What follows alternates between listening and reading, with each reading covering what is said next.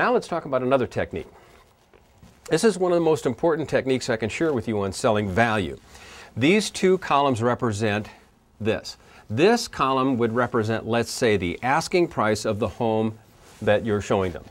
This represents their offer. They want to come in low. Uh, so let's put numbers to this. Let's say it's a $400,000 home and they want to offer 380.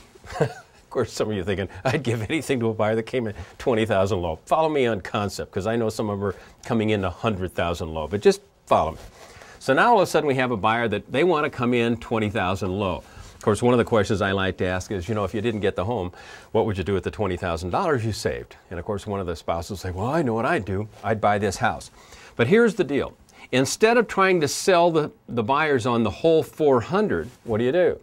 All you have to do is talk about the net $20,000. You sell them on the $20,000. You say, you know, Mr. and Mrs. Buyer, we're talking $20,000 difference.